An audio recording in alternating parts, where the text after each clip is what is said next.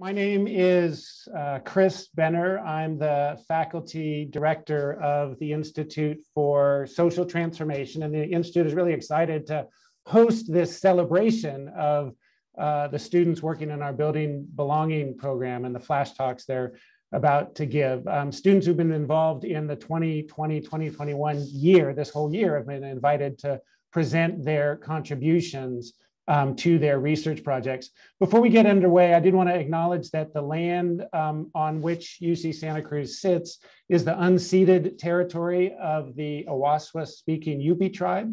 Um, today, it's the Amah Mutsun tribal band, which is comprised of the descendants of indigenous people taken to missions Santa Cruz and San Juan Bautista during Spanish colonization of the Central Coast, uh, which is working hard to restore traditional stewardship practices on these lands and his, heal from historical trauma. And I think it's really important as we have that land acknowledgement that it not just become routine, but becomes an opportunity to try and learn more and support the work um, of the Amah Mutsun tribal band and indigenous communities um, throughout the Americas.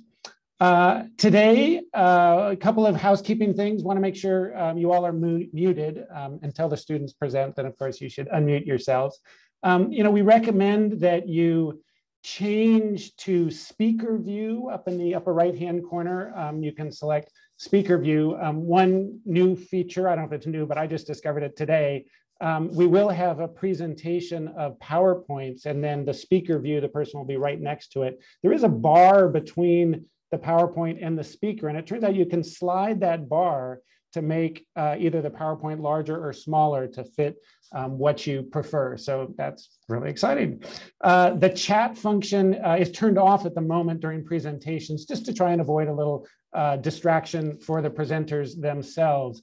But the presentations will be clustered into three groups of four to five presentations each. And we hope to have time for question and answer uh, at that time. And, and we'll ask you if you do have a question to click on the reaction button at the bottom where there's the option to raise your hand, and then that'll pop up uh, in uh, my view, and then I can and call on you um, for that. Uh, and then uh, we will be going in the order that's on the public site uh, of the event, so you have a sense of what's coming up. Uh, and today's event is being recorded.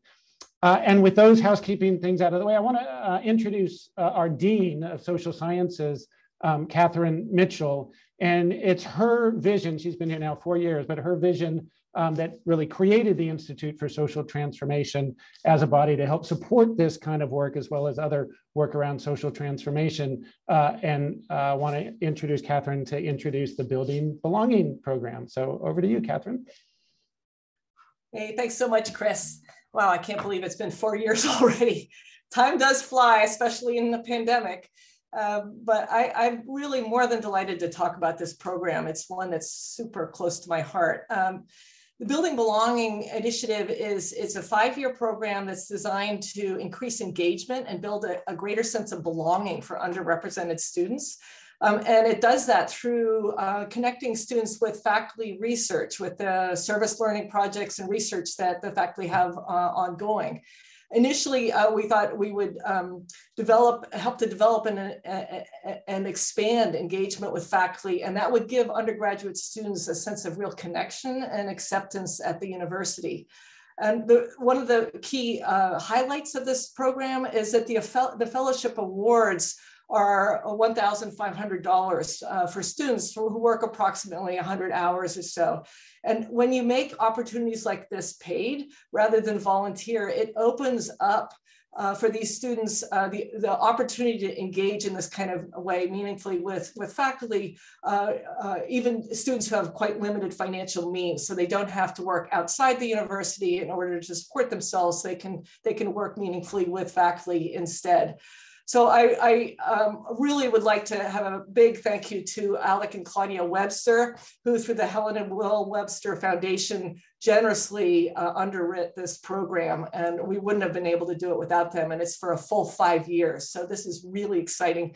I mean, the five year window gives us the opportunity not just to offer these kinds of opportunities for such a long time span, but also to assess the, the success of this kind of a, a initiative um, in a meaningful um, time span. So uh, gives us a chance to really see what works and what doesn't in this kind of a program. I also wanted to thank uh, Chris Benner for his incredible leadership of the Institute for Social Transformation, as well as Mikkel DeSupolo and Evan Knight for administering all programs, but this program in particular, uh, under the auspices of the Institute for Social Transformation in the Division of the Social Sciences. So this was our first uh, full year. We had a pilot program before this year, but this is our first full year. And we gave out over 100 fellowships um, totaling $150,000, all of which went directly to students. Uh, we have more info on this you can access on the Institute website, or maybe somebody can put that into a URL in the chat uh, at some point in time for anyone who's interested in, in learning more about those statistics. 28 faculty members from all eight social science departments and several programs uh, work closely with these students uh, who are able to help the faculty directly with their research. So this is a real win-win. And faculty, I know, are delighted to have the students, these brilliant students helping them on their uh, research. So uh, what the event is for this afternoon is to um, provide some of these fellows an opportunity to share their research experiences with others. And today we're going to hear from 23 students who've taken on research projects ranging from uh, climate change to social media, immigrant justice, COVID, um, incredible kinds of opportunities for them to engage with us, these socially and politically relevant questions of the day. But before we get to this incredible uh, work, I, I, want to introduce Catherine Quinteros, who's been doing some um, wonderful work of her own uh, by helping us to evaluate this program. Just as I said, you know, one of the wonderful things about having a five-year program is you can evaluate it uh, for those for that time period and see see what's working, and if something isn't, then tweak it uh, right at the beginning so that it'll be better for the for the next few years.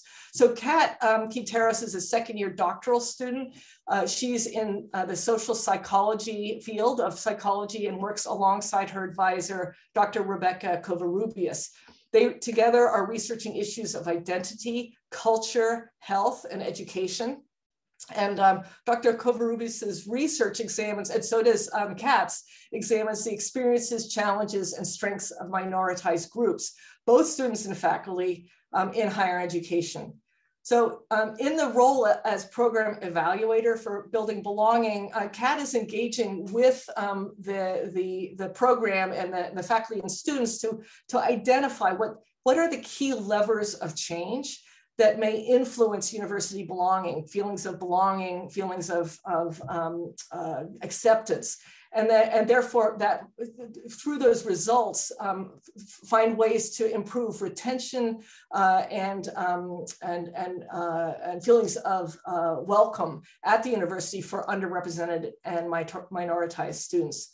So just to give you a little bit of information about Kat and her successes, she received the Chancellor's Graduate Internship Campus Fellow Award for this kind of research on building belonging. And she's also the winner of the Graduate Research Symposium this year with the Best of the Social Sciences Division Award. So Kat, many, many congratulations and thanks to you for this incredible work. I'm gonna hand it over to you to tell us about some of your findings. Thank you so much for that introduction, um, Dean Mitchell. So let me go ahead and share my screen because I have a PowerPoint one quick second to set up. Can everyone see that okay before I start? Yes, awesome. All right, let me just move everyone around a little bit. Uh, there we go. All right, so as you heard, um, so today I'll be talking a little bit about the work we've been doing with building with the Building Belonging program. This talk in particular is called Building Belonging through Researcher Practitioner Collaboration. But before jumping into the project, I want to give some context onto why this work is important. So first, UCSC is one of only 17 HSI research institutions in the nation. And serves a student population of about 58% students of color. Another important fact is that in 2020, the UC system increases admission of underrepresented groups by 16%. These are great strides towards equity and inclusivity, yet racial minoritized students, specifically Black, Latinx, and Native American students are less likely to graduate than their white peers, especially if they're first generation to college. So the question is, how can we improve retention rates for our students through offering support they find is actually needed, which leads to the Building Belonging program, whose goal is to increase engagement and build a greater sense of belonging for underrepresented students through research experiences and mentorship, what you've all been doing these past quarters. The project builds on the past work, which has shown that university belonging is especially critical for minoritized students of color, and that research opportunities help prepare minoritized students for future careers and cultivate an interest in graduate programs. And finally, the importance of faculty mentorship, which has been shown to have various benefits for students, such as in acquiring new skills, development of critical social networks, and the ability for students to see themselves thriving in academic spaces. So to evaluate the best practices for increasing belonging, recruitment, and retention of minoritized students, we, the researchers, work with the Building Belonging staff at every step of the way. First in developing a theory of action to set specific goals and activities to support those goals, then throughout instrument creations to now where we begin analyzing data. This collaboration allowed for both groups to inform each other. The practitioners brought with them their expertise and knowledge surrounding the logistics of the program, and the researchers were able to bring in their theoretical and analytical knowledge, as well as possibly acquire future publications. So for data collection, our timeline was as follows. In fall 2020, we created the surveys for both students and faculty. We administered the post survey for uh, this fall cohort, and we also gave a faculty survey. In winter, we did both again, the pre and the post survey for the winter cohort, again, sent out a faculty survey for the faculty mentors, and also began data analysis. And in spring 2021, you guessed it, we're also doing a pre and post survey again for the spring cohort, again, a faculty survey. We're still doing data analysis, but also we're moving into the next stage, phase, which is conducting interviews. So you all probably remember the many surveys we sent you. Thank you so much for your participation. When we coded the open responses for the surveys, we saw that many of you reported an increase in belonging, research identity, confidence, and skills. Students also described the highlights of the program, such as how their view of research changed throughout their time with their mentors. For example, one student mentioned how their time doing youth participatory action, or YPAR research, helped them learn the importance and value of participant experiences in research.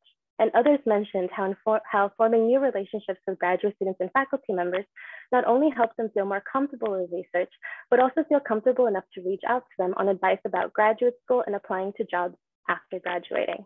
And many of you mentioned how great it felt feeling that you were a part of something, a community that met weekly to talk about new things that you learned. This was especially important the year, after the year we've had throughout the pandemic. Many of you talked about how having faculty to help navigate this year was extremely helpful. Finally, I want to leave you with this quote, which is a great example of the general feelings we saw in students. This one student explains that oftentimes marginalized communities can feel unappreciated or incapable of being part of the research community. The Building Belonging Fellowship helped me realize my ability as a researcher and feel confident that I belong in the research field as much as anybody else. I was able to receive valuable research skills, networking skills, and necessary support during this experience. So this student emphasizes how the combination of building belonging factors help to show her that she does belong in research and that she matters, which is the same for all of you. All of your voices and experiences matter, and I really can't wait to hear more about your projects later on. So moving forward, you all gave us some great recommendations for improving building belonging practices. For example, both students and faculty want more time in the program to develop important connection and skills. Finally, because this project involves both researchers and practitioners working closely together, now the staff at Building Belonging have the tools to continue evaluating the success of the program and refine the program to reflect their goals of building belonging in minoritized students at UC Santa Cruz. But without all of you, students, faculty, this would not have been possible. So thank you for your time and support on this project. My final thank yous first to my amazing uh, advisor, Dr. Rebecca Covarrubias, the incredible staff at Building Belonging, the CFA committee, and all of you. And before I leave you all, to all graduating seniors, congrats, you did it, you're done. So proud of you. All right. Thank you. Thank you so much, Kat. That was just awesome. And uh, I just wanted to express my own appreciation for the ability to work with you this year. Um, your insights into this program um, are just incredible and will really help strengthen this program going forward. And it's really been just a pleasure to, to work with you.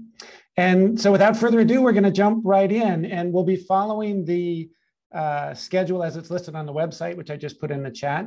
And so first up is um, Jonathan Sanchez from the sociology department. a project called We Belong, Collaboration for Community Engaged Research and Immigrant Justice Project with faculty mentor Steve McKay. So Jonathan, over to you. Cool. Um, thank you for that introduction. Um, and yeah, so through my time with the We Belong project, I got to work on the We Belong collaboration for community engaged research and immigrant justice project. Through this project, I got to work closely with graduate student and Dr. Steve McKay of the sociology department. Um, but yeah, through this project, we hope to kind of foster and understand feelings of belonging of undocumented slash mixed status families in Watsonville and Santa Cruz County NK. So to collect data, we conducted interviews of undocumented family members, both parents and children. Once we interviewed them, we transcribed these interviews and then translated them if they were done in Spanish, all in hopes of preparing them for open-ended coding. Um, first of all, yeah, this project meant a lot to me because I come from a mixed status family from Los Angeles. So kind of this project gave me the opportunity to kind of give back to like the community that I feel has done so much for me. Um, but yeah, I learned so much through this project, and I'm really grateful to have been a part of this project. Um, but through this project, I further understood the resilience of undocumented the undocumented community, not only in Santa Cruz, in, but in the U.S. as a community that is thriving. A consistent theme throughout the findings was that feelings of belonging often related to having a sense of thriving. If they felt like they belonged, they also felt like they were thriving. Despite consistent feelings of discrimination, xenophobia, and setbacks, undocumented family members were able to find a sense of belonging through having the constant support of their Watsonville community and in seeing their children or themselves succeed in school. Despite what they face on a day-to-day basis, undocumented family members were able to find resilience in their communities and families, generating a sense of belonging and thriving. I learned so much from this project and I'm grateful to be a part of such important work. Overall, one thing I hope I like I hope to take away, and I hope we all take away from this is that undocumented communities are a resilient and thriving community. Most importantly, they're superheroes that hold us together. Um, but yeah, thank you so much to all of you who came together and to make this all possible. I am honored to be a part of this project. Wonderful. Thank you, Jonathan. And the next project are a couple of students who are working with um, James Doucet Battle in the sociology department. So please welcome Tamar Sesson and Andrea Asher. So our project is a syndemic in the ring of fire, COVID-19, diabetes, and climate change.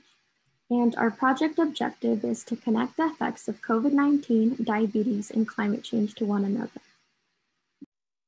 So the context of this project is that it allows us to understand the complex relationships between COVID-19, diabetes, and climate change um, to develop preventative solutions. Um, as our contribution to this project, uh, both Andrea and I evaluated sources and wrote annotated bibliographies. Um, our first takeaway from the project is that COVID-19 is a syndemic rather than a pandemic. The term syndemic was coined by Merrill Singer in 1994 and it is defined by the interplay of multiple pandemics and risk factors. Academics argue that COVID-19 is a syndemic because it interacts with non-communicable diseases such as diabetes and it is intensified by socioeconomic disparities. Our second takeaway is that systemic racism is prevalent in all three categories. So for example, Black and Indigenous people of color typically have a high vulnerability to wildfire compared to their white counterparts that live in the same areas. Um, areas that are predominantly Black and Latinx, such as neighborhoods in Los Angeles, San Francisco, and Detroit, typically have more COVID cases due to unsuitable and unsanitary living conditions. And similarly, the same areas that have a lot of COVID cases also had high rates of non-communicable diseases, such as diabetes. Our third takeaway is that government response to public health crises has yet to improve since the introduction of the term syndemic by Merrill Singer. Merrill Singer introduced the term syndemic to describe the interplay between substance abuse, violence, and AIDS, also known as SAVA. Singer argued the factors, that factors such as financial instability, self-identity crisis, abusive partners, lack of support and education contributed to the syndemic. Singer critiqued the public health response to address SAVA syndemic, contending that long-term syndemic changes must be done to address it. Today, communities of color have disproportionately have been affected by the COVID-19 syndemic in the same ways. So, what we've been concluding throughout our research is that COVID 19 has exacerbated socioeconomic inequalities, increased the vulnerability of those with pre existing conditions, and exposed health disparities already prevalent in society.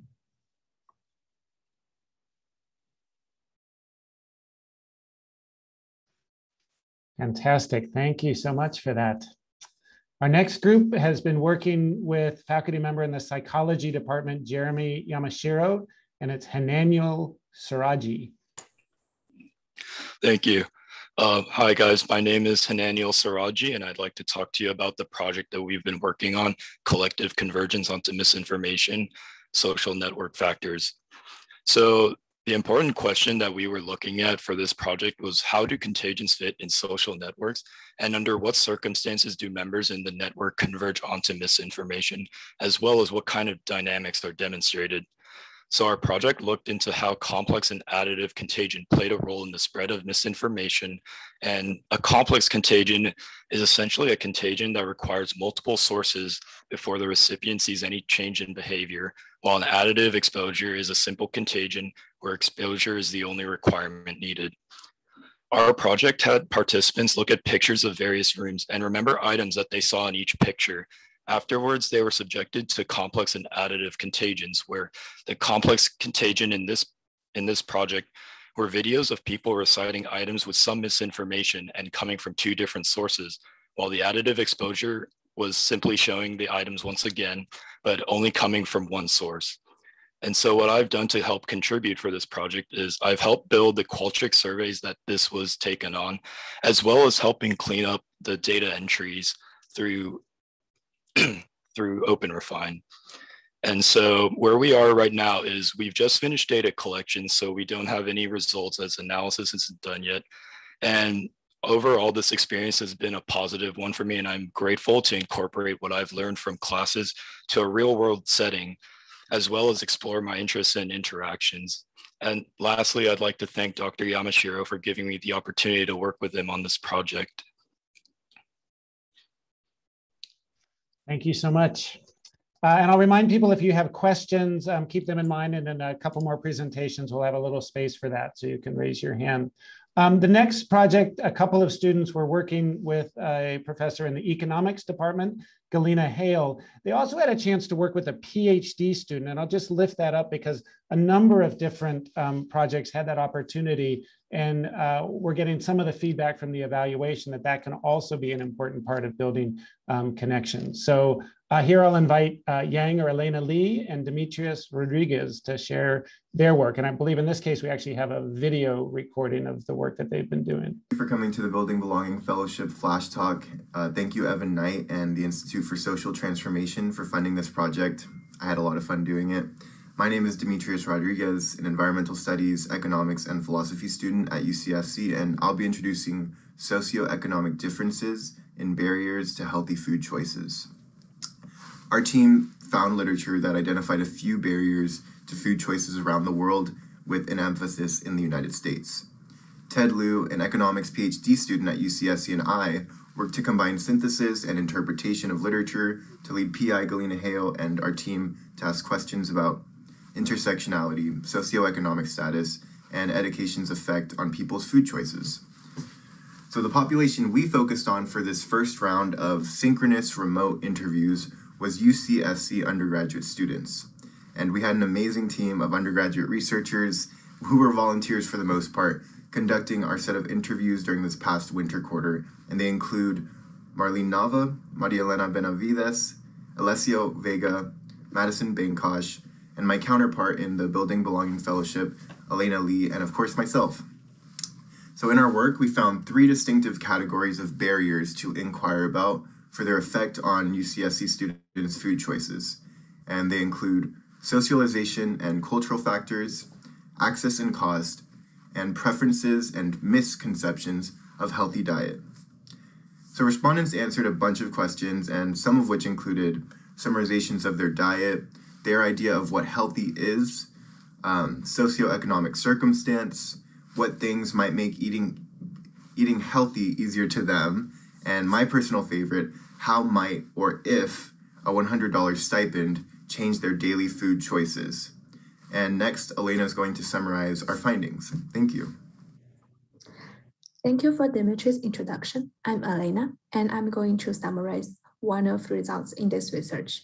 As Dimitri said that his favorite is the question how, about how might a $100 stipend can change their daily food choices.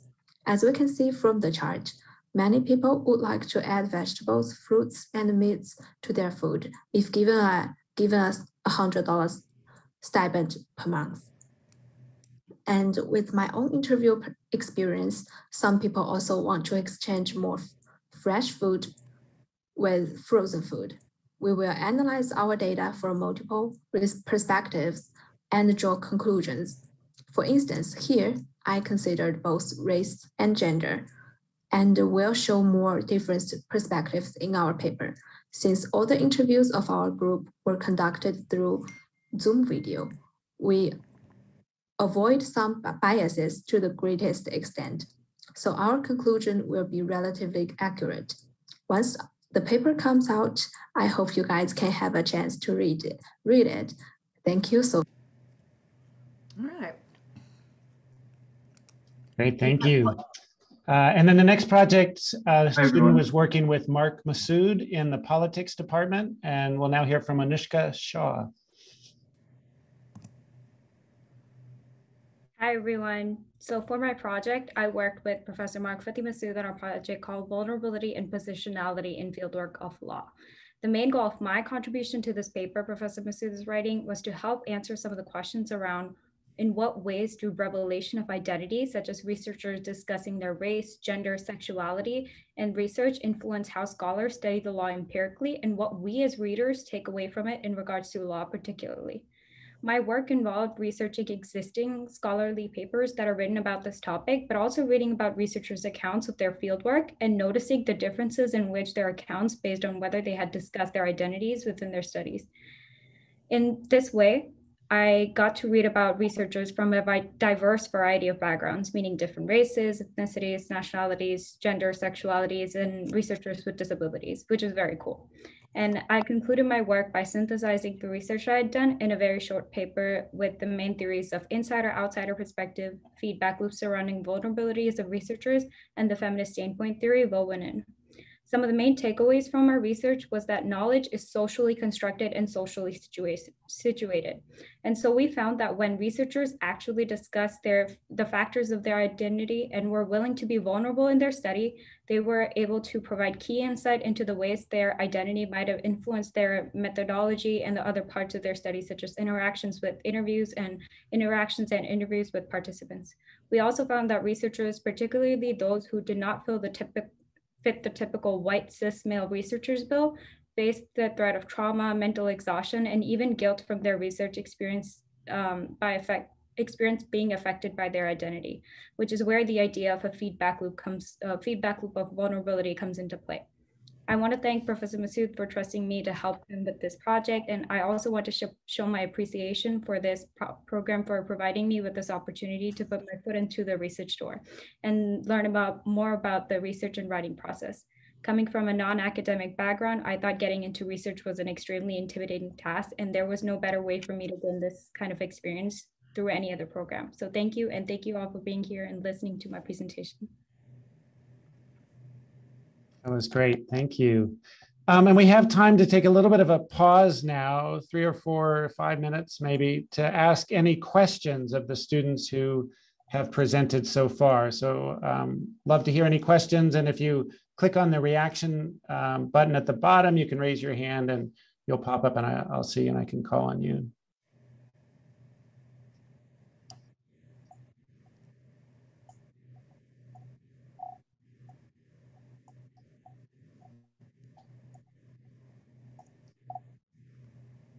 Could be questions about the research itself or the experience of working with faculty members or, or anything.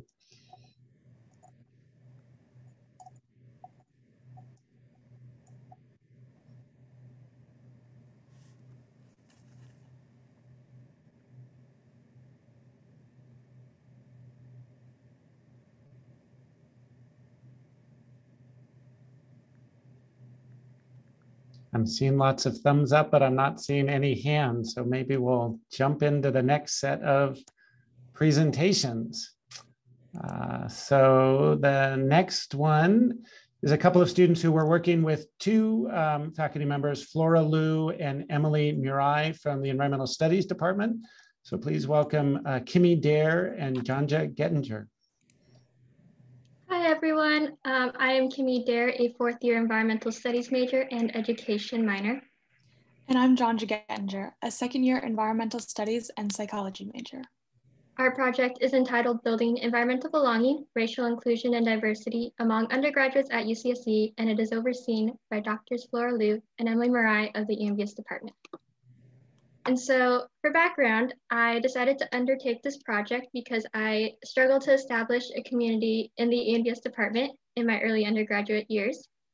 In addition, there was a racial incident that left me feeling very frustrated and voiceless and so these events triggered me to push for departmental change and promote racial inclusivity in the ENVS department and the institution more generally.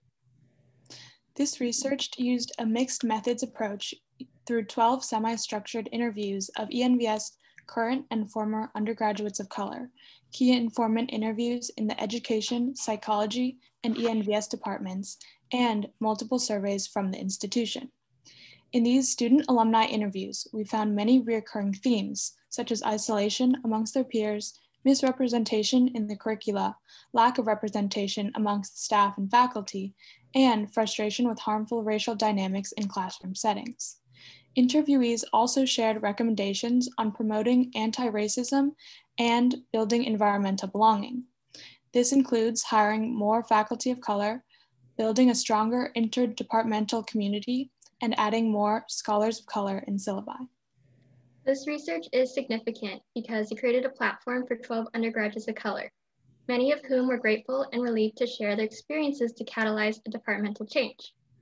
They voiced a desire for a permanent place of commiseration, thus leading to our final recommendation to create an ENVS BIPOC peer-to-peer mentorship program, which we discussed further in our findings. With this research, we hope that we are able to break the vicious cycle of BIPOC invisibility and misrepresentation and instead turn it into a virtuous cycle in which BIPOC students feel heard and their concerns are addressed for a more inclusive ENVS department. And you can read more about our research in these interrelated projects. For one, I wrote a senior thesis which recently won the Dean's and Chancellor's Awards uh, and I was the lead author on a correlated policy memo, which is being circulated throughout the department. I used both the student interviews and Kimmy's senior thesis as the foundation to many of the policy recommendations that can be seen in the memo.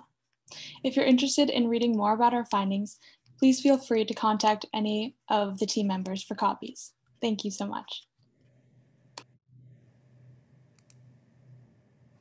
That was great. Thanks. Um, and uh, we'll have another chance to ask questions. And, and I realize I shouldn't necessarily assume that everyone knows how to navigate um, to raise their hand. So we'll make sure um, in the next break, you can just unmute yourself and, and ask the question and, and uh, jump right in. But for now, we'll do a couple more presentations that are all on similar themes. And so the next one um, had a chance to also work with Dr. Rebecca Covarrubias in the psychology department. Uh, Kimberly Hatch, over to you. Hello, everyone. Um, yes, I had the privilege of working with Professor Covarrubias, and welcome to our project. Um, profiling first-generation faculty on making sense of racial and ethnic identity in first-generation visibility campaigns nationwide. The inspiration behind our research originated from the First Gen Initiative, an initiative created to raise awareness and visibility of first-gen students on college campuses using a powerful method of connection, first-generation faculty narratives. Though we have found evidence of similar campaigns nationwide, Little is known about what exactly gets highlighted in first generation faculty stories. Our goals are to find how race and identity come through these narratives. Our project addresses two questions. How salient is racial and ethnic identity in public website profiles of the first gen faculty? As well, when highlighting the first gen identity through each narrative, how salient is the discussion of race and ethnicity? Does this vary across institutions depending on the number of students of color they serve? The significance of this project in three main points, connections, experiences, and identities. Inquiries about how initiatives, specifically those serving large numbers of first-gen students, grapple with race and ethnicity are ever more important to further understand and how they use the correlations and connections between experiences, identities, and sense of belonging amongst our first gen student populations. Edification of this project is as follows. Racial resonance, cultural cornerstone, societal success. We continue to see a trend of race explained as an embedded influence on outlook in terms of personal and academic success. Our culture uh, being stated as a guiding light and foundation to build on. In societal su success, the first generation identity has been the motivation for many to work towards upward mobility. My contributions to this project have been dataset collection, systematic account configuration, and research composition associate. I've collected over 400 narratives from first gen faculty nationwide. I've transformed collected data into a set of meaningful and cohesive categories, analyzed qualitative data into quantitative data to provide a systematic account for quantitative data testing and I've collaborated on definitions used for coding each data set. Lastly, I would like to say thank you to my incredible mentor and to the Building Belonging program. This fellowship has given me, a first gen Latinx German Mennonite student, not just the opportunity, but the privilege to be a part of something bigger. This research is an homage to my immigrant parents' sacrifices and values that were bestowed onto me of perseverance and hard work. It is an honor to represent Latinx biracial students and show we too belong in these academic spaces we too belong at the table. Thank you, Kimberly. Um, the next project are three students who are working with Hannah Hausman in the psychology department. Um, it's Kaylee Kurland, Huda Ajaz, and Garrett Swelgen. And uh, we have Kaylee Kurland with us today. Hi, everybody. I'm going to be presenting on behalf of everybody in my group. I am very excited that I am working with Dr. Hannah Hausman in her cognitive psychology laboratory on research about um, how feedback can influence student learning. This um, year, we've been working on a series of research projects, and we have completed our very first research project, and we're very excited to show the results.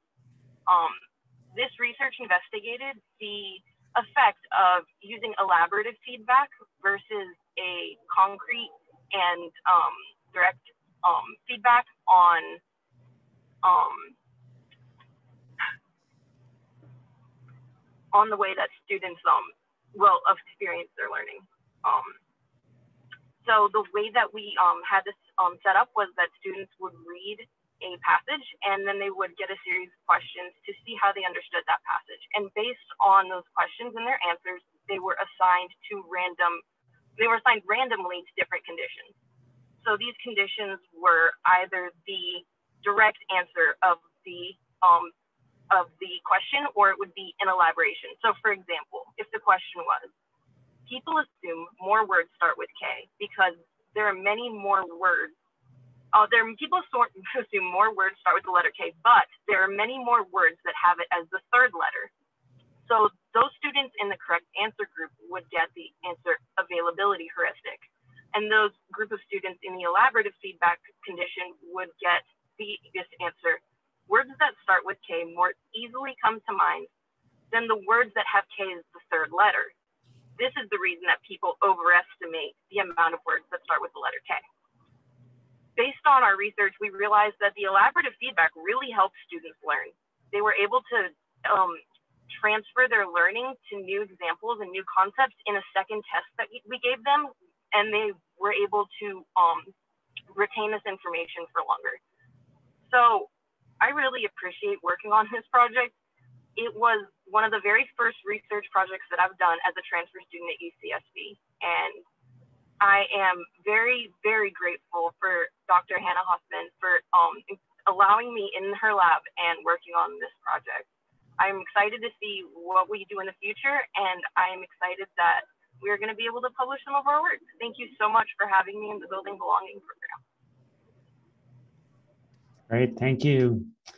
Uh, next project is a student working with uh, the faculty mentor Laura Bartlett in the education department. The project is Suddenly Distant, Teachers Work in the Context of COVID-19.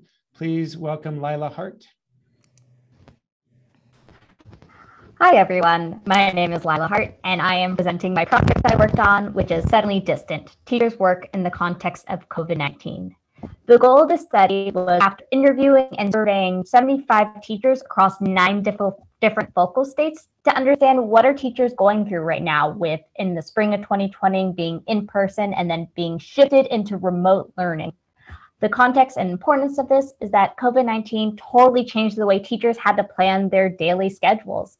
They tackled on longer work days, worried about student inequity, and also feared about juggling their health when do I either choose to go in person and risk my health and the people I love's health, or do I try to support the students as best as I can? I contributed to the program in transcribing over 30 interviews through a software known as Sonix and making sure they were as smooth and easy to code and qualitatively analyze for my team. My main takeaways that I gained from this project is the invaluable nature of mentorship. I have amazing team of mentors who not only take care of me, but allow me to take care of them and help take on some extra work. Um, it was an invaluable experience and made me realize not only do I love teaching and that I want to continue down this path as my career, but I really love our project website as well as our project findings. If you type into Google Suddenly Distant, you'll see it right away. And I want to thank the Building Belonging program. Wonderful, thank you. And the next project also is working with a faculty member in the education department, Cynthia Lewis. Uh, this is Educational Justice Across Digital Divides. Please welcome Jessica Garcia Garcia.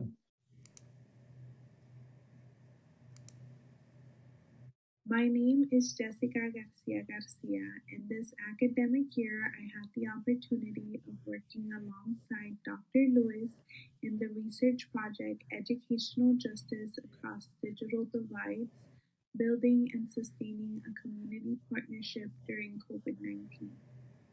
Through the research, we were able to observe the disparities pertaining to already disadvantaged students, such as newcomers and English learner students. The project focused on the transition of the Corre la Voz program from in person to fully online due to the pandemic. My role as an undergrad researcher included gathering qualitative data like taking field notes of each session and translating the notes for the lead researcher. As an active participant observer, I had the opportunity of mentoring students throughout the year and encouraging them to feel comfortable enough to turn on their cameras and unmute themselves to engage with the program. I also helped develop the survey to have the opportunity to hear more feedback from the student mentees on how we could help improve the program in the future. This was a unique and impactful experience because as a transfer student, I looked forward to take part in research at UCSC. As the pandemic began, I feared graduating without this unique experience. I am very grateful to everyone who made this opportunity possible and especially to Dr. Lewis, Dr. Lopez, Mario Gomez Zamora, and all my Senderos mentees for mentoring and teaching me through this journey. Thank you. That was great. And I, I, want to give us a chance to take another pause now that the next set of projects are more focused on research on uh, environmental issues, animal research, and ecosystems. So um, want to open up for anyone who might have questions for any of the students who have presented so far. If you raise your hand, I can call on you, or otherwise, if um, you just want to unmute and jump right in, that would be fine also. I see uh, Becca Covarrubias. Do you want to go ahead? Um, this has been so great. I feel like I'm learning a lot from this. I, I was particularly struck, um, Kimmy and Kyla, by your projects, given that, I mean, our context is UC Santa Cruz and there's so much um, application of, of the work that you're doing. And I'm curious if you've had a chance to engage audiences with some of the findings um, and if there's been some reception to learning more about either, you know, climate within, um, you know, particular majors or even, you know, teaching and instruction for, for your two different projects. I'm just curious about that process of, of sharing out your findings with people.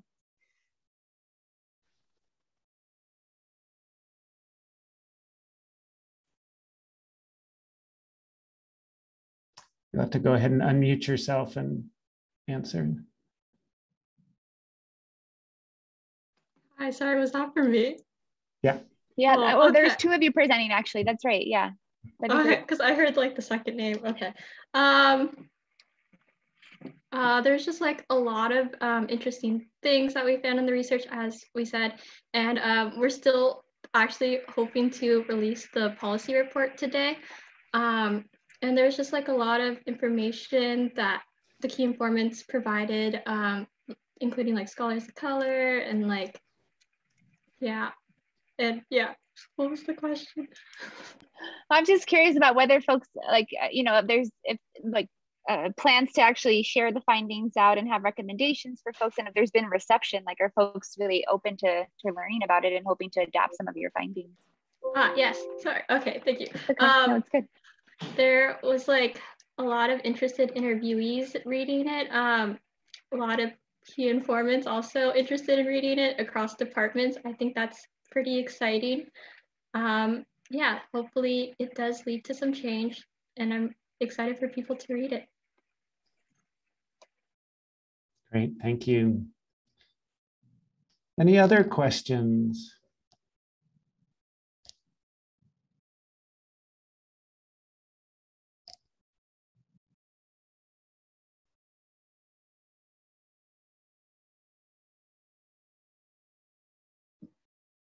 Chris, Chris, I have a question. Yeah, please. Yeah, go ahead. This is Claudia Webster, and um, I had a couple comments that go back to the syndemic one, which I couldn't figure out how to make a comment on. But I would hope that that information is transmitted to alumna Laurie Garrett, who is a, a consultant on MSNBC, because I think that she would be very interested in presenting that kind of information to the public. And She's um, a pandemic expert, yeah, Laurie Garrett. yeah. And um, the other thing I wanted to mention was um, for Lila Hart's group.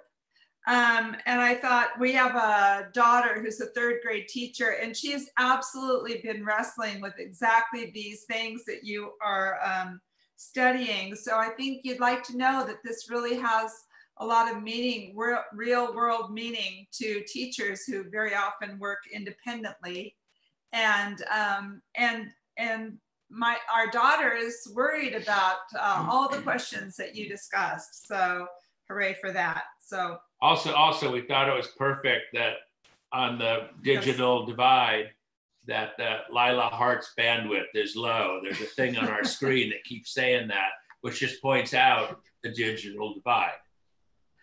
One last thing, we'd love to see the policy memo on inclusiveness in environmental studies. So that's it. Great, great comments. Thank you. I, I don't know if any of the students mentioned there, Andrea or Tamar or Lila, or do you want to um, say anything or respond to those comments? We can put you in touch with Laurie Garrett um, as a possibility for sure. Just thank you. And we've heard that from a lot of other teachers too, that they they really appreciate just hearing other teachers saying the exact same thing. Um, so Great, thank you. Anyone else before we move on?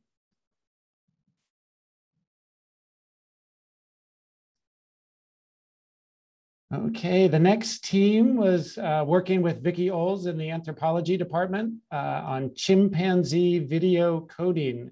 Uh, Lauren Hobbs and Peyton Syme.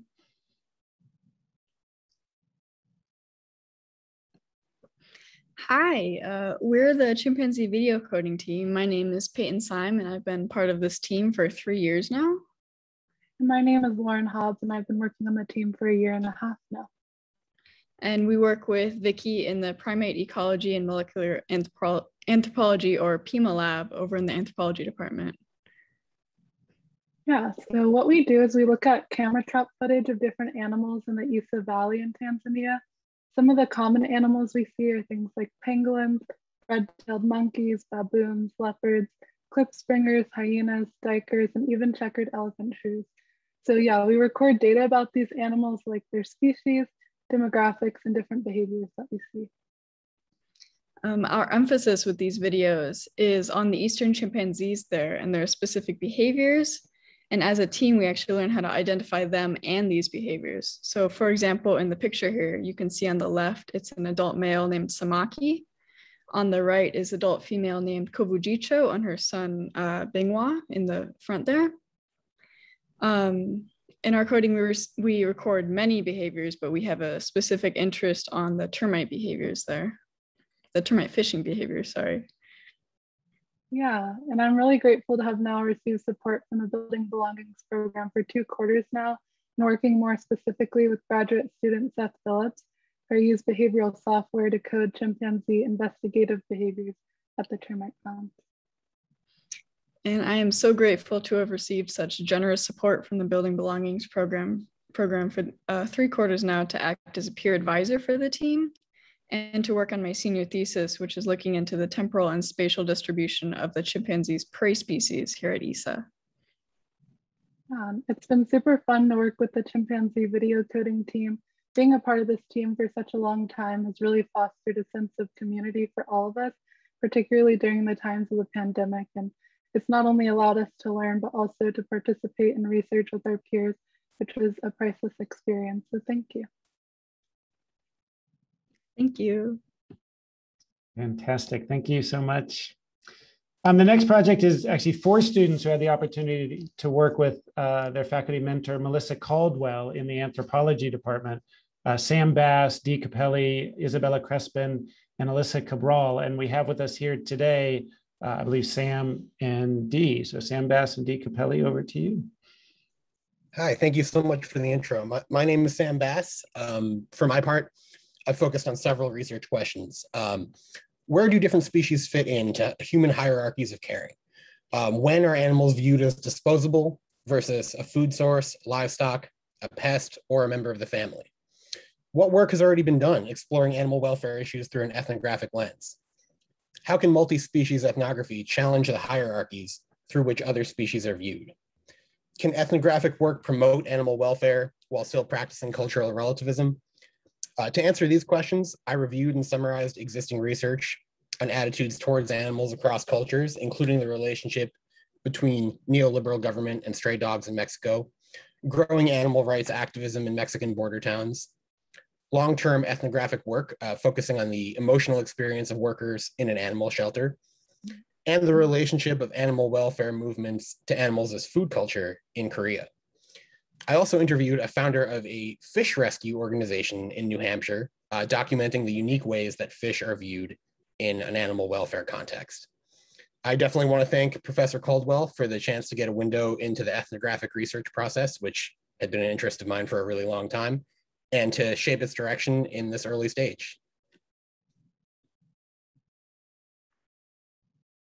Okay, Sam, I'll take it over from here. I'm Dee Capelli, and uh, my research involves the prison system and dogs. One of the most successful prison inmate rehabilitation programs in the US involves selected inmates who learn to train selected dogs from local shelters. The program's success criteria includes long-term positive behavioral and emotional responses, as well as significantly lower recidivism rates from the program's human participants. My research asks, what about the canine participants? What metrics are used to measure the program's success for them? After training, are the dog's placements tracked? What conclusions can be made about the lifelong well-being of the dog as a direct result of this program? Who and what measures a dog's life as successful versus what makes the program successful?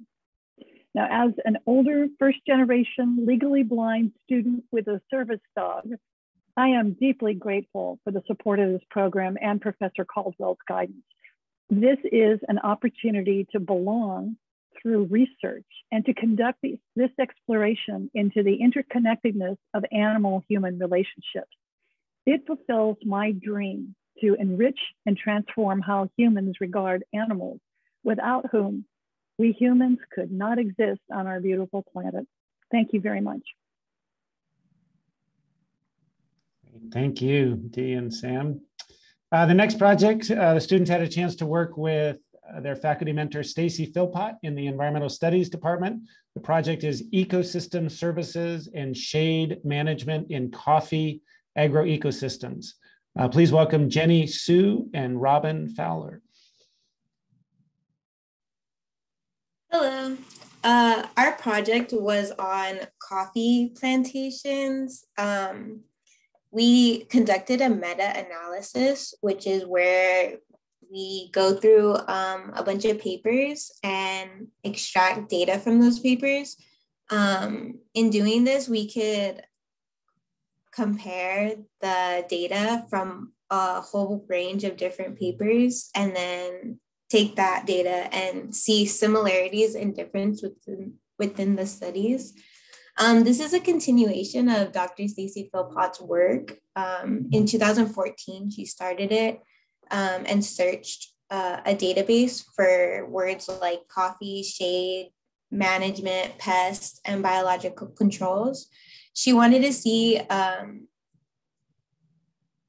uh, how management systems on coffee plantations affected the pest, uh, predator, and damage. So, um, like in coffee farms, there's either a traditional style of growing coffee, which is grown in a jungle like system. So there's like a lot of trees and coffee underneath. Um, recently, though, it's been transformed um, into more of a monoculture where it's just rows and rows of um, the same type of coffee and no shade whatsoever. Um, so there's been a big like transformation in coffee plantations, and we wanted to see how the um, agro ecosystem reacted to that. Um, so we looked at how many pests were in the very heavily shaded plantations and how many pests were in the monoculture plantations, and also like how many predators there were, and if those predators uh, increase in predators would facilitate like um, a decrease in prey because the predators would eat the prey and therefore save the coffee um, from being damaged. Jenny? So, so right here you see on our database, which is slightly highlighted in yellow, and this is all of our data that we extracted and we compared them based on what each individual paper says, based on the number of shade available. Like for example, one of them will have two systems. One of them would be heavily shaded and one of them would be not shaded at all. And that would be in categories one and two. We actually categorize them based on numbers from one to five, five being the most shade, one being the least shade. And some papers might not have categories up to five, which is okay. So from there, we calculated the log response ratio, which is just a really fancy way of saying how one system differs from the other in terms of shade levels based on whatever we're looking at. So in the graph here, we're looking at pest prey abundance. So that is how we're looking at how many prey species are in a specific ecosystem with a certain amount of shade. So from the pest prey abundance graph, we found that the negative numbers represent low shade and the positive numbers represent high shade. So CBB is coffee berry borers, and that would bore right into the coffee fruit and completely destroy the year's crops. So we found that coffee berry borers had a significant increase when there's less shade, and scale insects had a slight increase with when it's less shade, whereas all the other insects, leaf hoppers, leaf miners, other insects and stem borers would have no significant impact with shade. And I just want to thank the Building Belongings program for giving us this opportunity to work in ecology research with Dr. Philpott, and thank you all for coming. Great, thank you so much. And our uh, last project for the day, and uh, other projects of students couldn't be available to present, but the last one for today, um, students had a chance to work with uh, Kai Zhu, professor in the Environmental Studies Department, also a chance to work with uh, a graduate student, Yiluan Song, um, who I believe is here today also, uh, and the three students are, are, Luke Hamilton, Caitlin Schilt, and Jade Gooseman. And I'll just say, as part of admitting my own ignorance, uh, the topic phenology observers on social media, I didn't know what phenology was. So I just want to make sure everyone knows it's the study of cyclic and seasonal phenomena, natural phenomena, especially as it relates to climate and planet and animal life. So um, with that introduction, please welcome Luke, Caitlin, and Jade. Hi, so the goal for our project was to collect tweets based on specific keywords that were related to phenology so that we could use those to sort of you know, create a database in order to train a natural language processing AI to make that collection process easier for phenology researchers and so that they could use instead of having to do their own collection you know data collected from other people that are just posting on social media. And so my role in this was to filter through you know large 40,000 tweets and you know pick out the ones that were and were not related to phenology uh, in order to help train the AI and so throughout this project i learned a lot um, about not only what you know a lot of people do and don't know about phenology because as chris said not a lot of people know what phenology is. Um, it's not a very discussed about topic but also has a lot um, to tell us about how the climate can be changing. And i myself learned a lot about you know how training an ai actually works and you know what goes into that as well as um, you know how it can really help to work in a team. And i'm really thankful to have gotten the chance to work with you know these amazing other students and Yiluan and Kai Zhu as well. Yes thank you luke. So we this was a large project. As Luke was saying, we went over 40,000 tweets. It was insane. And coming in, I didn't really know what phenology exactly was. And going through all of these tweets, it was a difficult process. But so to start off with this process, we decided to have protocols. So we developed clear protocols to define what phenology, what tweets were phenology related versus what tweets were not phenology related.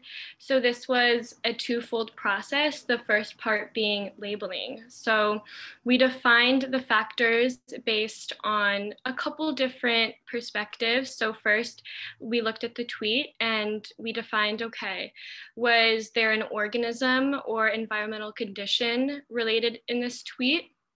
And let's say the environmental condition was wetness. Let's say the environmental condition was humidity heat different things. And another another factor was what happened and is was there an action that was happening in this tweet or what didn't happen in this tweet?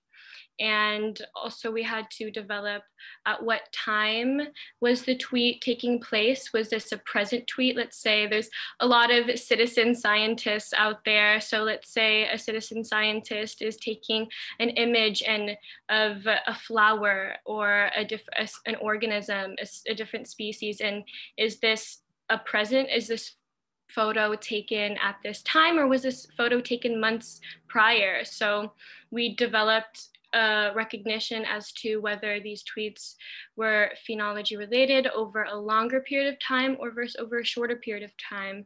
Even kind of factoring in okay did they use keywords spring summer autumn fall?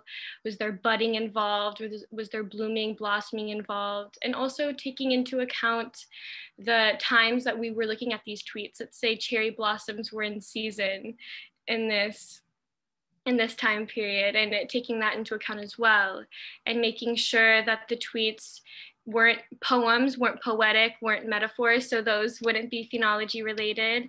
And if the if the photo was taken at an uncertain time period then we wouldn't we would be safe and not mention that as phenology related. So these are the different factors that we had to take into account and the next step of our process is natural language processing, which I am not acquainted with and not familiar with, but Jade is amazing in that field. And they also were able to work with us. We all come from various different backgrounds, edu- uh, departments, even. So this was a cool process to integrate all of our different knowledges into this one piece. And also working with Yiluan and Professor Kai Zhu, this has been an amazing journey and uh, i hope that we in these next steps in the next phase in the summer we get to expand on our observations from social media and use these citizen scientists to our advantage and work alongside them. So I would also like to thank everyone and on building belonging. This has been amazing. Thank you, Chris.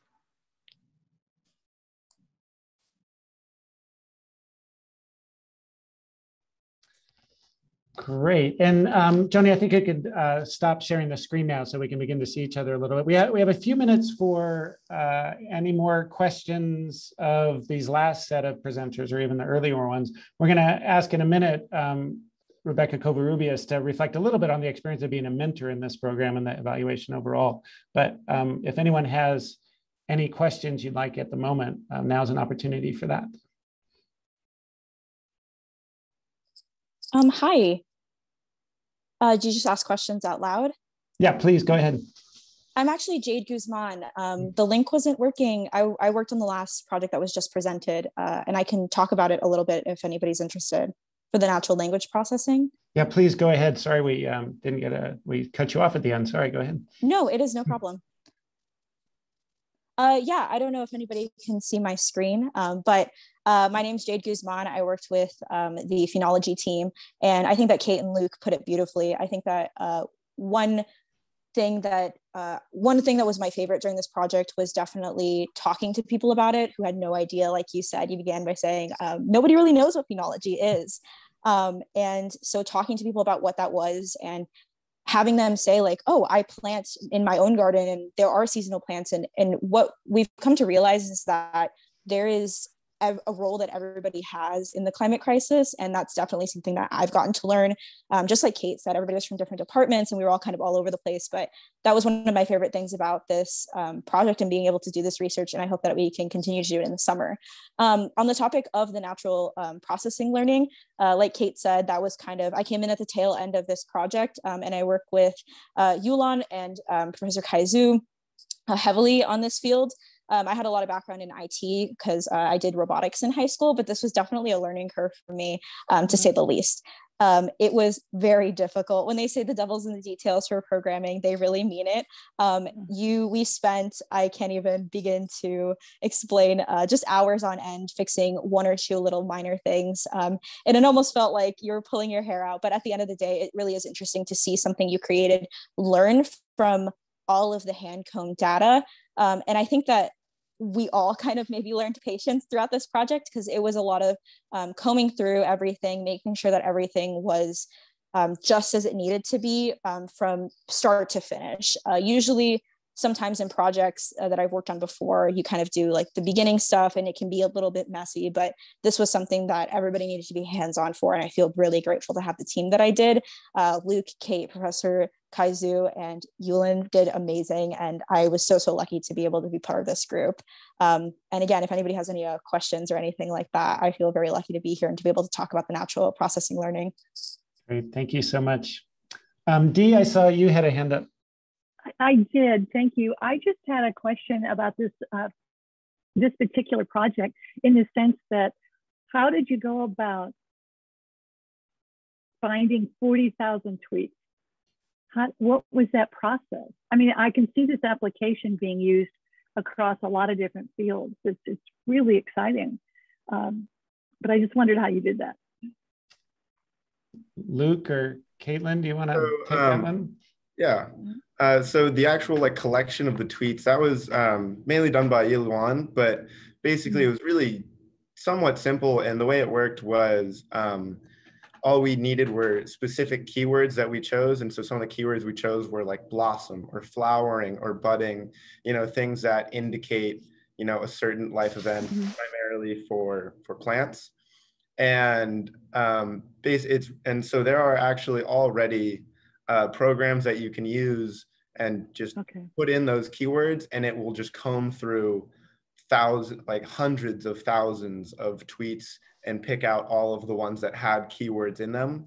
And so we were given um, met, like spreadsheets uh, on excel with hundreds of thousands of tweets on them. And so each line in the excel doc would be that individual tweet. It would give it the date and the time and our task was basically going through each of these tweets pretty much one by one um, and like reading through it and figuring out if that one was phenology related or not. And after a while, um, it definitely got easier because you kind of realize like which keywords had a lot more uh, phenology related, whereas other ones, like one of the ones uh, like Bud, had very few actually re- related tweets because you know a lot of people would use Bud like, oh hey Bud, things like that. So we began to filter through a lot faster and a lot easier doing that. And how did you just define it through tweets as opposed to picking up uh, the same kind of uh, language or words in, say, blogs? How did you narrow it to tweets? Uh, I think is that, is that the software again? Um, yeah, so it was it was Yiluan's decision to do the tweets, and I think it was primarily just because um, it just had the largest database. It is it is one of the most used uh, social media platforms there is, yeah. and yeah. so we kind of figured that that would just give us the best opportunity to get a get the like the widest variety of of tweet of information. Well, thank you so much. That was really informative. I appreciate it. Uh, maybe time for one more question if there's anyone else.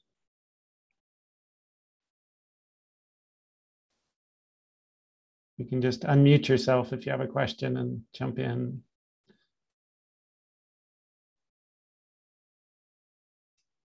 So I have a question for um, the uh, chimpanzee research. So I'm wondering what um, what behaviors were really um, unusual that you found uh, related to the termite fishing? Ladies, do you want to go or shall I say something? No, Peyton and Lauren. I feel like you're more qualified to, to answer. well, we'd love to hear either Peyton or Lauren first, and then um, Vicki, we can hear any follow up from you. But love to hear the students' perspectives on that question. Okay, well, yeah, I can talk a little bit about my work with Seth. So, yeah, some of the interesting behaviors that we're looking at is just how they know when the termites like are really there in abundance and if they see seasonal patterns and how they use their senses to kind of tell. So yeah, I use like coding things to look at when they like visually inspect and like they'll sometimes like dig at the mound and then smell their finger or smell the mound and then determining whether they're successful that time to see kind of like how they're gauging when to fish at these sites. Yeah. Peyton, anything else you want to add? Uh, the termite fishing is Lauren's specialty, so I think that was an excellent answer.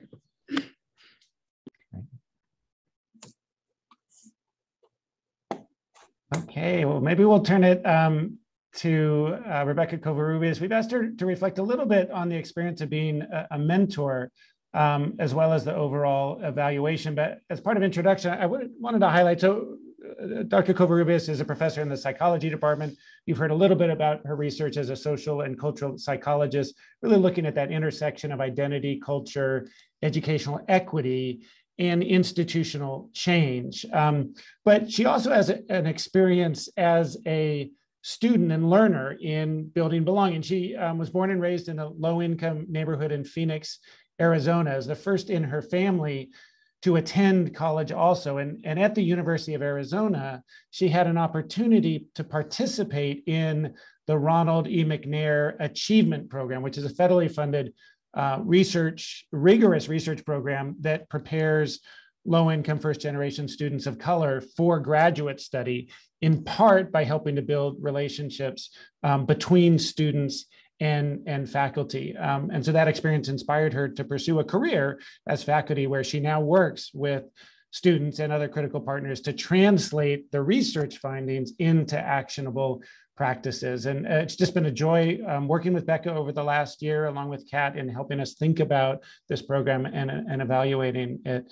Um, so just with such deep pleasure, I'm turning it over to you, Becca, to share a bit of your reflections and experience on, on this work. Hi, everyone. I'm so glad just to have this space to just celebrate your work and you. And it does start to feel a little meta when I think about how, um, you know, my own research experience and now being a mentor in this research program and then studying the importance of research. So I love all the interconnectedness of that and the continuity of, of these themes here. um, you know, I'm, I'm reflecting on the collective work um, of this group and I just feel really inspired and and hopeful and so moved and like I want to get to work because I feel like I need to catch up all with what you're all doing. Um, you know, the, the program asked me to share a couple of words about what it meant to be a mentor and evaluator for the program. And I had three immediate thoughts that I wanted to share with this group. Um, I just want to make sure I can see everyone. There we go. Okay. Um, it's good to see your faces. Um, so my first thought was that um, I was reflecting on the mission of the Building Belonging program, right? So it's the commitment to offer an opportunity um, to connect students and faculty in these sort of meaningful research and service learning um, experiences and projects. And so I'm working with my graduate student, Catherine Quinteros, who you heard um, earlier speak about um, the research parts of that.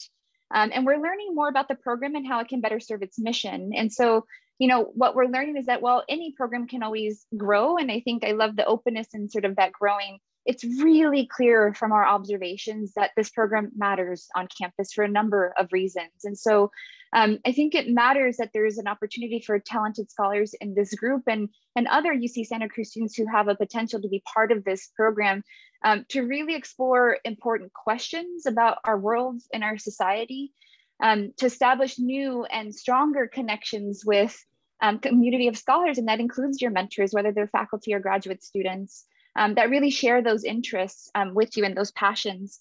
And I think the other part is to continue to redefine perspectives and knowledge in the fields of research that you're in um, and, the, and the sort of projects that you're studying here.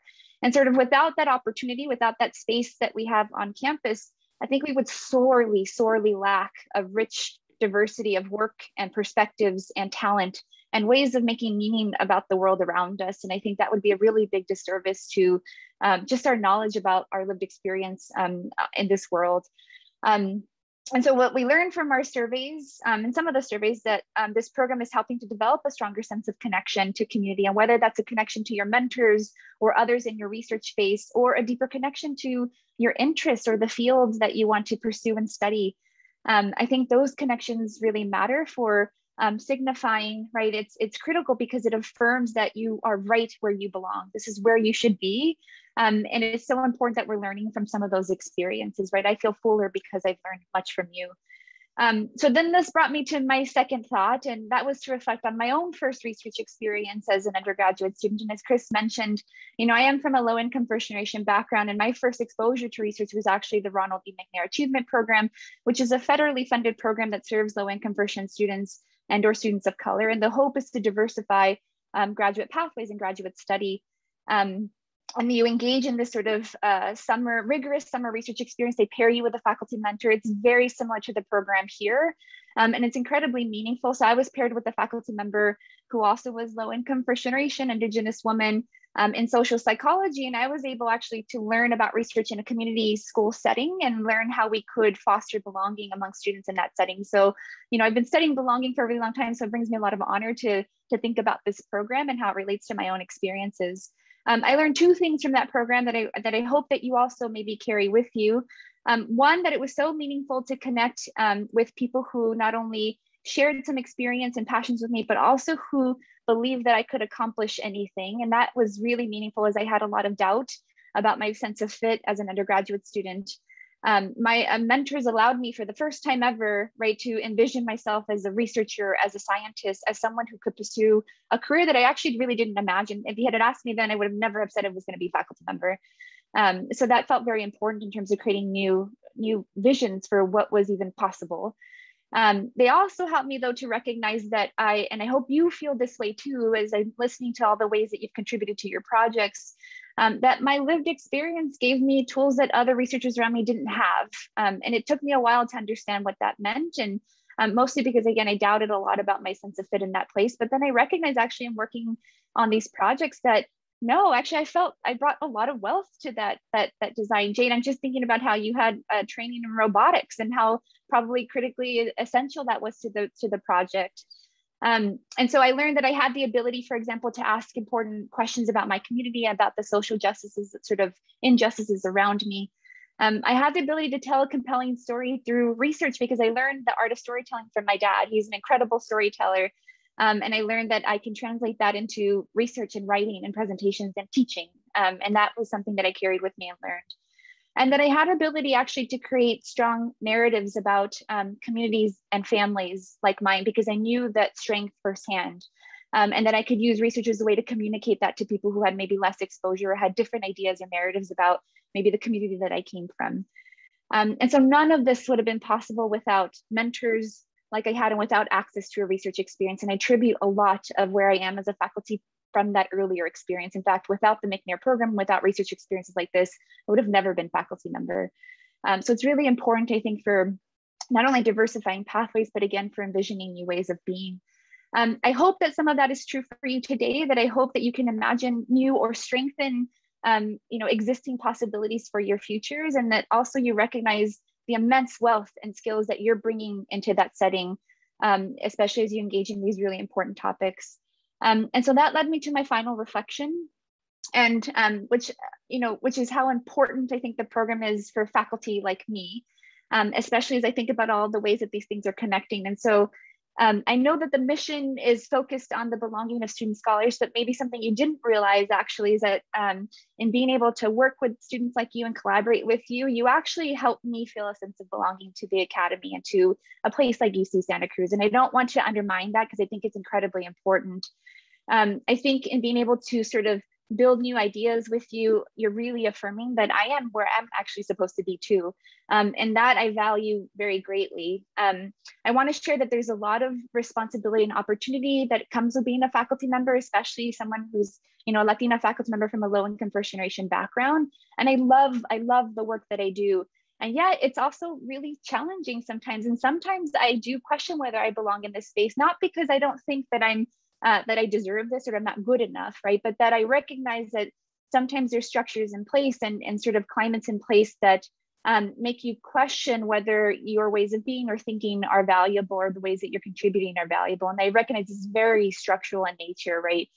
Um, and so yet when I think about what nourishes me and what sustains me as faculty in this role, I think about students like you, I think about Kimberly and being able to work with you and Kat and being able to collaborate with you on these projects um, and I feel really inspired that I that I get to learn from you, to laugh with you, to build new um, ideas about the world, to redefine our respective fields, and to work toward changing systems so we never question our sense of fit in a place that we're obviously meant to be in, right? And I think that's really the vision for a program like this: is that the more that we diversify the work that we're doing, the scholars that we that we train, and the and the collaborations that we have, that that question of belonging um, maybe it actually makes the program cease to exist in some ways because um, it's just sort of, uh, we recognize that this is where we are supposed to be. Um, so the Building Belonging program for me is a place where um, I get to be a learner, um, a supporter, an advocate, and a researcher in community um, with talented students. And so for me, this relationship is a two-way dynamic because I grow so much from these connections and things that I take care, uh, that, that I take with me and that really anchor me in this university.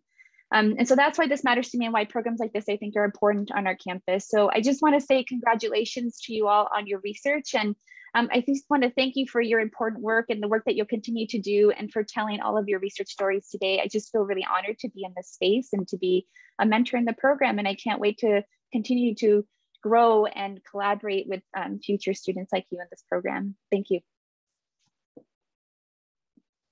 Thank you so much, Becca. And I'll turn it back now to our Dean, Katharyne Mitchell, to close us out. Oh, well, thanks, Chris. Um, this was just such an amazing experience and ended with a, such an amazing, heartfelt presentation from uh, Becca. Uh, really appreciate it, um, all, everything you said. And I appreciate all the faculty mentors for this incredible program. I, I know uh, our students are amazing. I already knew that. I know the faculty are amazing. And now they're, they're together and this amazing collaboration makes me just really, really happy. And um, I also want to thank our amazing donors. So I'm, I'm, going to blow a kiss to Alec and Claudia, which you don't usually see to your donors, but they're uh, just wonderful people and, and their spirit lives on in this program uh, and in many other ways on the campus. So stay tuned for the building belonging applications of 2021-22. Um, they're going to go out late summer, early fall. I want to once again thank the amazing Institute for Social Transformation with the amazing Chris Benner, Mikkel DeSuplo, and Evan Knight, and all the other people who work there. Um, and um, I hope to see everyone in person next time. So thanks to everybody for coming, and I hope you all have a really, really wonderful evening. So take care. Bye.